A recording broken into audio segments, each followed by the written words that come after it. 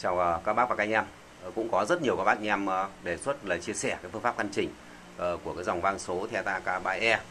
Thì hôm nay em nhận được một chiếc vang số Theta K3E của một chú em ở Vĩnh Phúc gửi đến căn chỉnh. Thì em chia sẻ nhanh với lại các bác anh em về một cái cấu hình ở trên cái dòng vang số Theta K3E này. Về chế độ thì em thường thường vẫn làm các cái chế độ như là sáng tiếng để phù hợp với lại bộ dàn sáng tiếng, tối tiếng thì chất âm nó sẽ sáng hơn và một chế độ gieo định giọng và một chế độ dịp vợt thì khi căn chỉnh dòng vang số này thì các bác sẽ lưu ý như thế này. Ngay bản thân là ở ngay cái mục em hay làm cái vấn đề tổng quát trước. Thì ngay bản thân ở cái phần à, tổng quát đây các bác sẽ thấy được là cái phần tổng quát nó như thế này. Ờ, ở đây thì nó cho, cho phép chúng ta như vậy là đặt các cái giá trị của cái phần à, nhạc này phần mic này. Đây là phần mic này phần nhạc này. Ờ, và các cái giá trị ờ, lớn nhất khi mà chúng ta tăng giảm về cái giá trị biên độ thì tất cả những cái mục này nó đều ảnh hưởng đến cái chất âm ờ, của chiếc vang số Theta K6E. Ờ, đặc biệt là dòng vang số Theta K6E nó có những cái rất đặc biệt.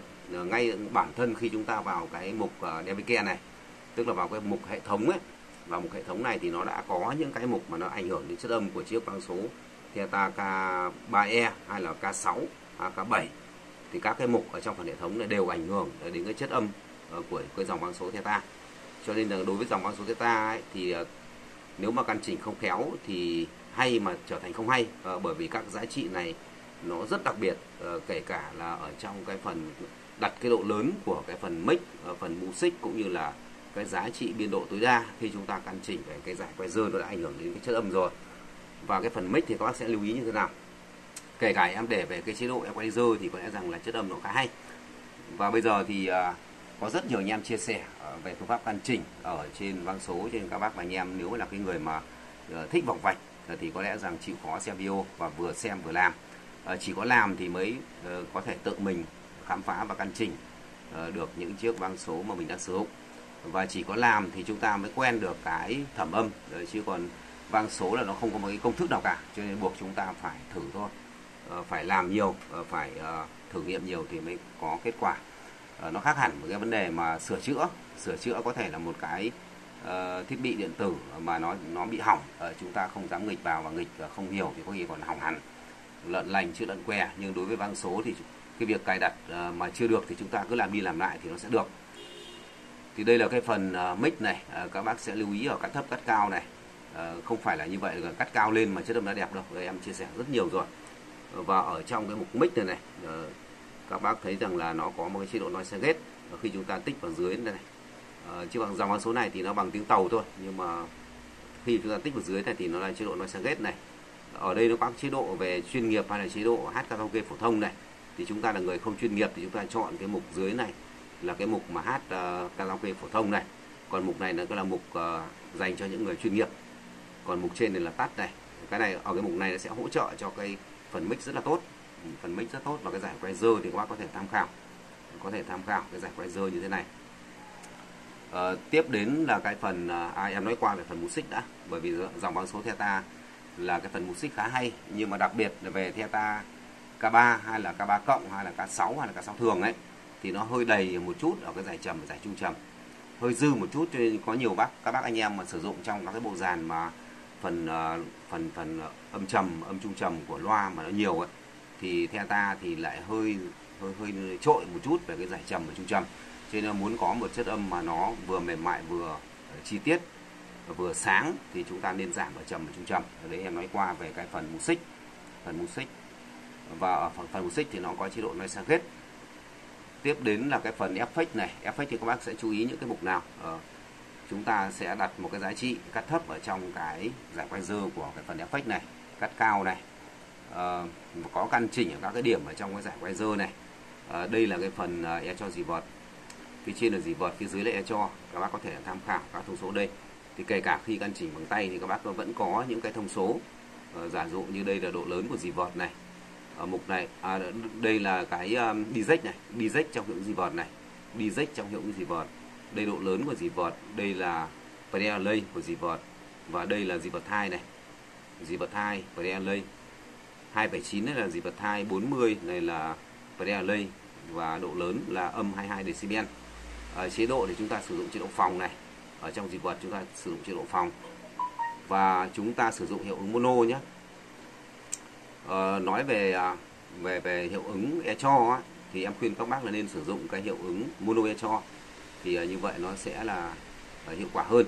Chứ còn các bác đừng nên dùng cái city echo hay là cái đua uh, echo và ở cái mục này là cái mục mà như vậy là có sử dụng cái hiệu ứng ờ, uh, echo và gì vật cộng vào nhau. Và đây là cái phần echo này. Thì đây là cái đi rách à đây là độ lớn.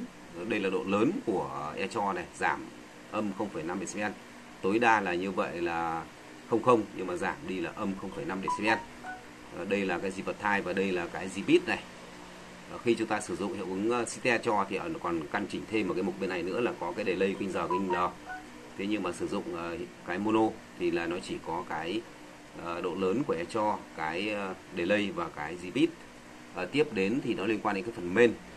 Phần main thì có làm chế độ compressor này có làm chế độ compressor. Đây là cái uh, này phía dưới là cái tỷ lệ này. Theo tỷ lệ cái này là cái delay căn chỉnh độ trễ của kênh trái kênh phải này thì cái uh, cái cái cái mục ờ, uh, compressor này rất quan trọng này. Đây là phần uh, độ lớn xuất ra trên cổng uh, GL này phần nhạc này phần uh, phần mic này.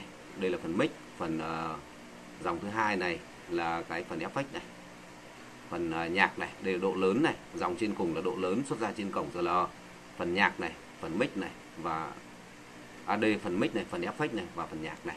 Thì uh, đây nó cũng là một chiếc vang số Ờ, khá hay. Ờ, cho nên rằng là có rất nhiều các anh em ờ, đang sử dụng nên em lại chia sẻ các anh em. Và cái độ lớn của cái effect tùy theo từng cấu hình. Thì đối với dòng vang số này thì mỗi một cấu hình nó sẽ cho phép chúng ta lưu một cái giá trị effect tổng đây. Thì cái effect tổng này rất quan trọng. Khi chúng ta đặt đúng tầm thì nó cũng hay, mà chúng ta đặt không đúng tầm thì là nó cũng không được đẹp về chất âm.